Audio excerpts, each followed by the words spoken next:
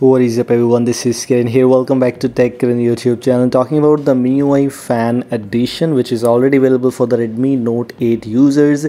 It's now available for the Redmi Note 9s or you can say Redmi Note 9 Pro users. Basically only Curtana. It's not a MIUI build. It cannot be installed on Poco M2 Pro and any other device MIUI tool device. It's only for Redmi Note 9 Pro or basically Curtana if you have.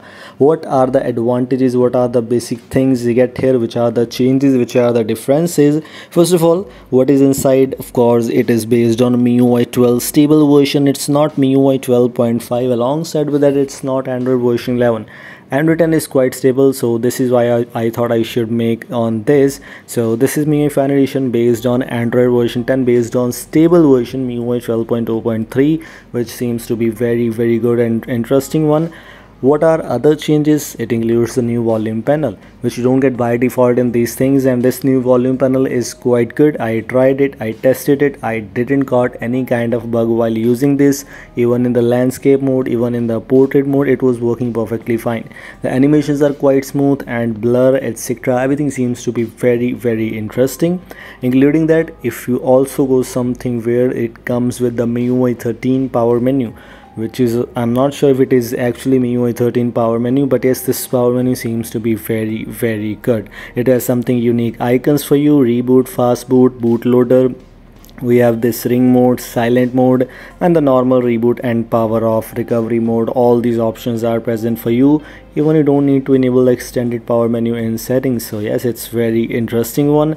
Including that it has very very smooth animations. As i've noticed it has very smooth animations. It comes with a new app vault. It comes with very good kind of additions for you. And yes one of the best customers out there of course i will definitely say because it's just moded by me but yes it is actually good. I'm using from past 24 hours basically now. Didn't got any kind of major bug. You might you might face some little bit of bugs available here and there but of course if you're using custom ROM you need to keep these things in your mind. It also has this new battery stats. It was not available previously in this stock. MIUI 12.0.3 stable version. You have the old battery stats or battery UI for you but now we have something new different kind of UI which you get in MIUI 12 12.5 stable so some MIUI 12.5 additions are included here and some things which I might not be able to show you are already included. And here we also have the DPI changer. Yes I just got know how to add this feature so I'm adding it on my other builds too. Yes we have this DPI available for you which you can adjust. And of course let me just tell you one more thing. Just don't use this if you don't know what you're doing. If you do something wrong you might get brick or a lot of things can happen. So it's better don't use it if you don't know what you're doing. But if you know what you are doing and how to do and how to recover you're good to go. You can install this you can use this thing this DPI changer feature is actually quite good and actually worthy especially for me. I sometimes use.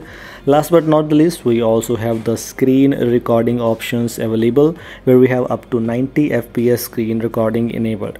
Just don't say it is not working. Of course it will not work but feature is present for you. You might get the 60 fps your device supports 60 fps in next update i'll try to provide you the 60 fps screen recorder but right now we have the 90 fps screen recording which is not bad. We also have some MIUI 12.5 wallpapers included as all the MIUI 12.5 goodies are already present. So MIUI 12.5 wallpapers should be present there. Some cool and interesting wallpapers are included. The previous one this one is just one of my favorite ones out there. So let me just apply it. We're good to go setting wallpaper and this is how the wallpaper is looking like. Very good.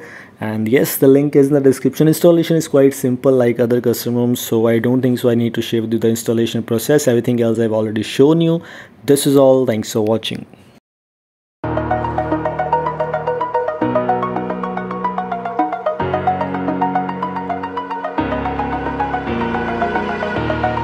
Over the edge. Feel like I'm floating through air.